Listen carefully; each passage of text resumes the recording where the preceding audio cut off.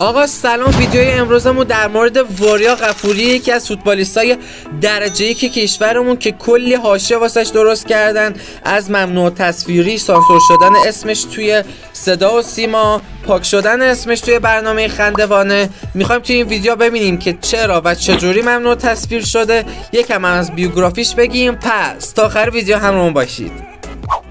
سلام علیکم حالتون چطوره؟ شطور موتوری. آقا قبل از اینکه بریم ببینیم چی شده اگه دوست دارید کانال ما رو subscribe کنید که قراره کلی ویدیوهای خفن از حواشی روز و اخبار داغ واسه‌تون بذاریم. like ویدیو هم یادتون نره. بریم سراغ اصل مسئله. وریا غفوری از همون بچگی که عاشق فوتبال بوده و از مناطق محروم کردستان خودشو به جاهای بالا کشیده. توی 16 سالگی برای تیم پیکان قبول میشه اما به دلیل نداشتن پول برا همینم خواسته کلا تیمو ترک کنه و بره قید فوتبال رو بزنه. اما به طور معجزه آسایی میمونه و دیگه راهش هم شروع می‌کنه و میره جلو.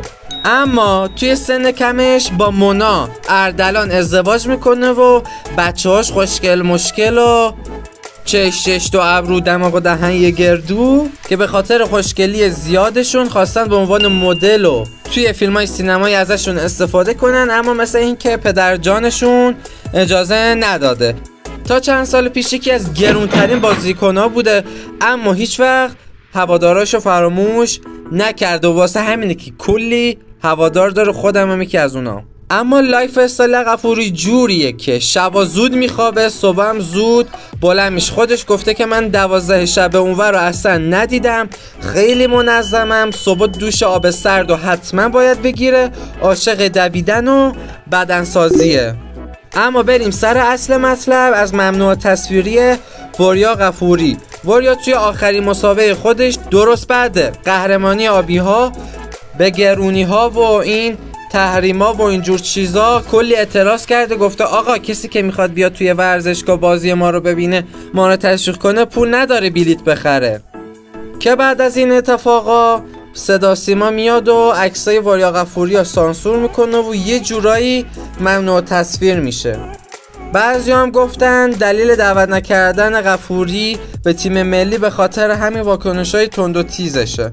اما چند شب پیشم توی برنامه خندوانه اسم وریا رو پاک می‌کنن و جاش وحید می نویسن که بعد از اون رامباده جواد میاد یه ویدیو می‌گیره و اسخایی می‌کنه و گفته که مجبوری ما به خاطر برنامه و اینجور چیزا اسمش رو پاک کردیم که خیلی علیه رامبد جوان برگشتن و گفتن که کارت خیلی زشت بوده و وریا فراموش نمیشه.